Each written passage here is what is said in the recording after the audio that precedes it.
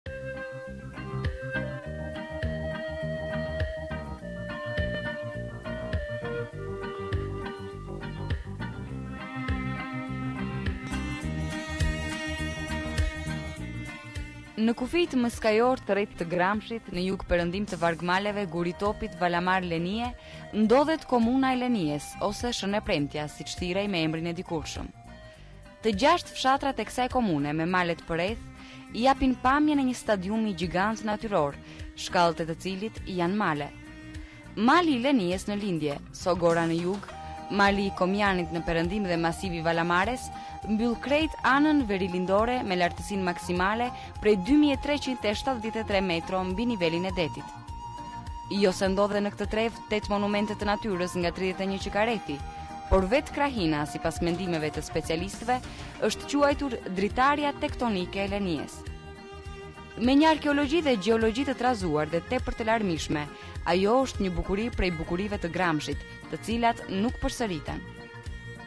Ultësirat në formë luginash dhe shkallaresh midis maleve Përbëjnë dhe rrugët e komunikimit, në perëndim me Gramshin dhe krejt ultësirën perëndimore, nëpërmjet qafës të Dushkut, në lindje qafa e Mushkës dhe qafa e Shënepremtes, shërbejnë si porta komunikimi me trevën e Korçës.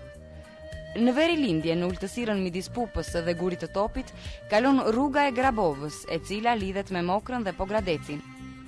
Sapo hyn në Lenie, syri të zë kanionin e Kopaçit, njërin nga monumentet më interesante të natyrës. Ai ndodhet në lartësinë 1371 metro mbi nivelin e detit, dhe gryka depërtuese zhvillohet në një gjatësi 1250 metro në drejtim lindje perëndim me disnivel hyrje dalje 90 metro. Përroi alpin që buron nga këmbët e malit të Valamares për miliona vjet ka krijuar kanionin madhështor, objekt simbol i cili ka frymëzuar dhe artistët piktorë. Sapo del nga kanioni, ky përrua alpin me ujëra të shumta gjatë gjithë vitit, bëhet zap dhe paguan borxhet duke vënë në punë hidrocentralin e Lenies me kapacitet 400 kW. Gjithë ansambli që formon këtë krahinë ka bukuritë dhe kontrastet e veta. Aty bashkohet në mënyrë organike e ashpra me të butën. Maja e male që bien si thikë, mbi livadhe dhe kullota të buta. Nga nëntoka e këtushme burojnë ujëra të pastra kristal, të cilat derdhen në tre krahina etnografike e rrethe të ndryshme, si i Korçës, Gramshit dhe Pogradecit. Të flasësh për këtë krahinë do të ishte pa kuptim të mos cekej sadopak liqeni i zi. Aty në lartësinë mbi 1700 metra mbi nivelin e detit ndodhen dy monumente interesante të natyrës, liqeni i zi dhe burimi i ftohtë i liqenit të zi. Bukuria e të dy këtyre monumenteve të natyrës Nuk është as madhësia, as thellësia, por kthjelltësia dhe ftohtësia e ujërave. Vlera e liqenit të zi rritet nga ambienti që e rrethon, nga kurorat e maleve të cilave ai u shërben si pasqyrë. Peizazhit të magjishëm të liqenit të zi, i përbërë nga vetë liqeni, cirqet glaciale, pyjet dhe burimet e shumta të ujit, u shtohet dhe ky burim i vogël, por shumë i ftohtë. Uji i tij mineral, ende i pastudjuar mirë, ka veti kuruese. Në muajin gusht të çdo viti aty vijnë mijëra njerëz nga krahina të ndryshme të vendit dhe vitet e fundit edhe nga shtetet fqinje si Italia, Maqedonia dhe Greqia. Me banjot që bëhen aty gjejnë përmirësim sëmundjet reumatizmale, poliartritet etj.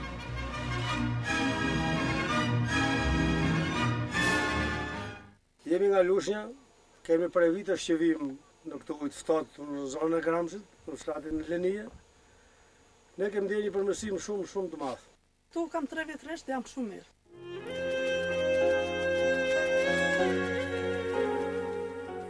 Megjithatë, mjekësia dhe shkenca duhet t'u japë përgjigje shumë pyetjeve që procedurat të mos bëhen në mënyrë empirike. Komuna ka bërë rrugën automobilistike deri në liqenin e zi, por përsa i përket infrastrukturës, mbetet shumë për të bërë. Për vetë pozitën e saj gjeografike, kjo krahinë ka shërbyer si fortesë natyrore, megjithëse nuk mungojnë edhe kalatë ilire. E tillë është ajo e vendosur në shkëmbin natyror i quajtur Guri i Kalasë, midis Lenijes dhe Grabovës poshtë. Ky fshat ndodhet në perëndim të Lenijes, pa ndonjë kufi natyror ndarës. Grabova poshtë ka qenë e banuar që në lashtësi.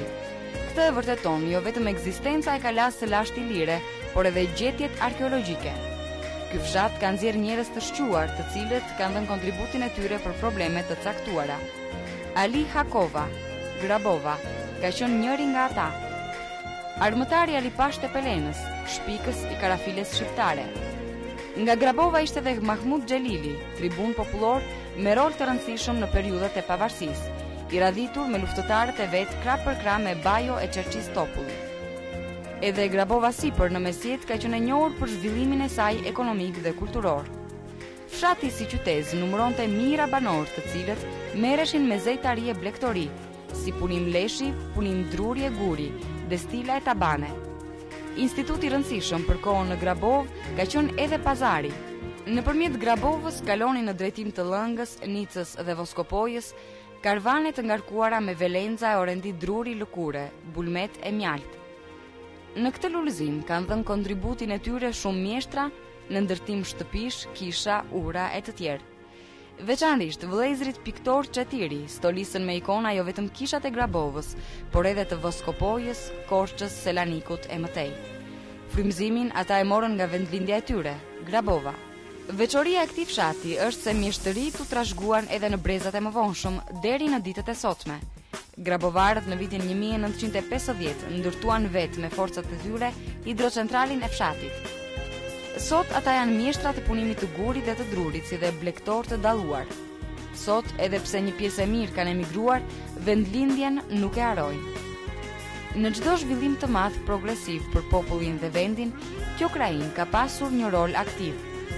Qëndrimi i patriotit Themistokli Gërmenji në janar të vitit 1916 çoi në krijimin e pushtetit lokal nën shembullin e Republikës së Korçës dhe një vit më pas, nën kujdesin e posaçëm të tij u hap shkolla e parë shqipe për rrethin. Kjo ngjarje e rëndësishme erdhi dhe si rezultat i përpjekjeve të patriotëve të kësaj krahine, si Mahmud Xhelili, Tare e Nexhip Bici, Feim e Faik Miftaraj, Vasil Nishku e dhjetëra të tjerë.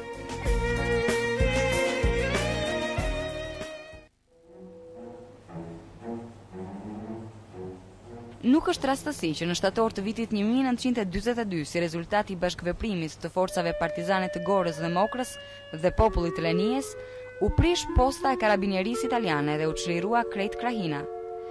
Në nëntëdhjetë vjetorin e shkollës së parë shqipe dhe gjashtëdhjetë e pesë vjetorin e çlirimit, U theksua edhe një herë se populli i Shënepremtes për lirinë dhe diturinë nuk ka pyetur shumë për bindjet politike. Nga Shënepremtja u radhitën në radhët e Ushtrisë Nacional Çlirimtare njëqind e tetëmbëdhjetë të rinj dhe të reja, nga të cilët dymbëdhjetë prej tyre dhanë gjënë më të shtrenjtë, jetën. Veterani Petref Ceci tregon.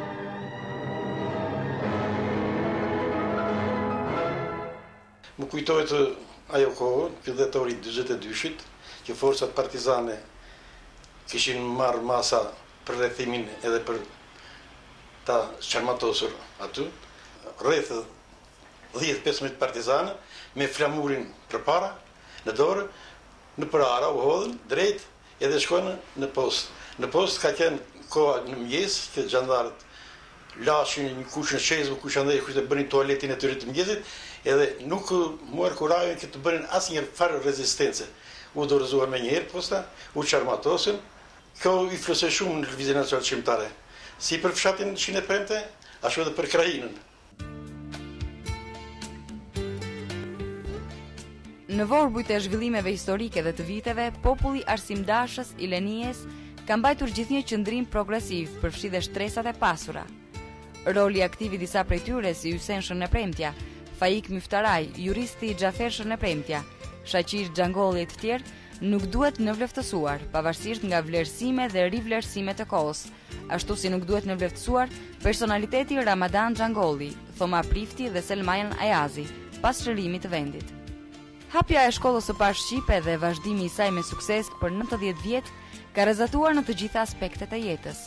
Nga bankot e kësaj shkolle kanë dalë 159 kuadro me arsim të lartë, të cilët kanë dhënë dhe japin kontributin e tyre në të gjitha fushat.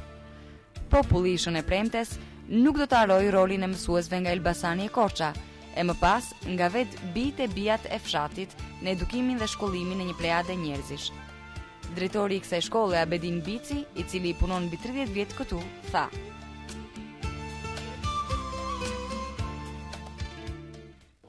157 nga ish nxënësit e kësaj shkolle kanë mbaruar shkollat e larta, njëzet e pesë prej tyre, gati njëzet e pesë për qind, janë vajza, të cilët sot punojnë në sektorë të ndryshëm të arsimit, kulturës, të ekonomisë,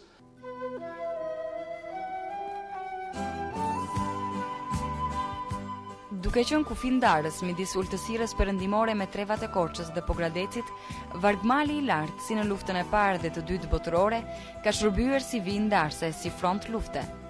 Nga perëndimi, ky vargmal është pritës i erërave të buta që vijnë nga ultësira perëndimore, ndërsa nga verilindja ndalon erërat e ftohta të Ballkanit.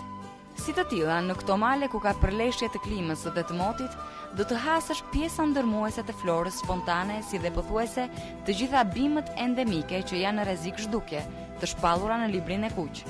Aty janë më afër se kudo ajri i pasur me ozonin e bredhit dhe të rrobullit të kuq, uji i ftohtë dhe i shumtë që shpërndahet në të gjitha drejtimet e horizontit, si dhe flora dhe fauna me tërë larminë e saj.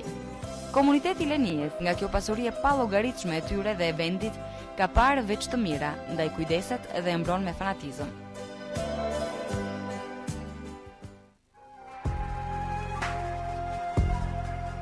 Në vitet 90, shumë familje lanë Lenien dhe ikën në emigracion, ose në zona të tjera urbane, si në Tiranë, Durrës, Korçë e të tjera. Familjet që mbetën në fshat iu futën punës dhe po çojnë më tej traditat për blegtorinë, artizanatin, ndërtimet. Është puna këmbëngulëse e tyre dhe pushtetit vendor që rruga Gramsh Lenie u ndërtua shumë mirë. U ndërtuan shkolla, qendra shëndetësore, ura dhe ndërtesa. Tani njerëzit i shqetëson përmirësimi i vazhdueshëm i infrastrukturës, veçanërisht rrugës për në Liqenin e Zi, zonë me rezerva të mëdha për zhvillimin e turizmit familjar në dimër dhe verë. Kryetari i Komunës së Lenies, Astrit Bici, për këtë problem tha. Vëmendja jonë dhe prioritetet janë përqendruar në infrastrukturën rrugore në përgjithësi. Me synimin zhvillimi i turizmit malor, ne kemi bukuritë e natyrës, ujërat, liqenin e zi, të cilat japin një klimë të shëndetshme. Në arritjen e objektivave tona, kemi ndier nga afër jo vetëm kujdesin e strukturave shtetërore, por edhe të larguarve nga vendlindja e tyre nga Lenia.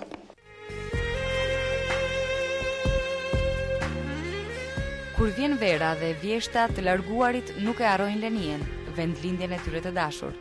Ata përpiqen për begatinë e saj dhe jo për shkretimin dhe boshatisjen.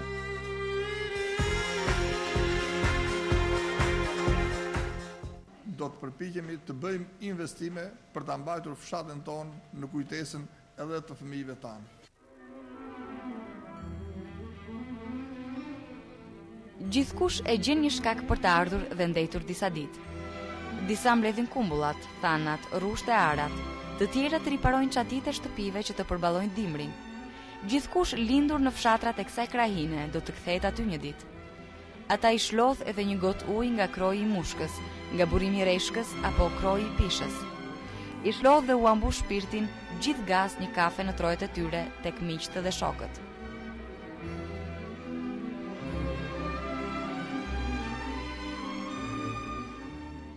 Na merr malli edhe për kushërinj që kemi këtu edhe për vendin që jemi që jemi rritur, vijmë shpeshherë.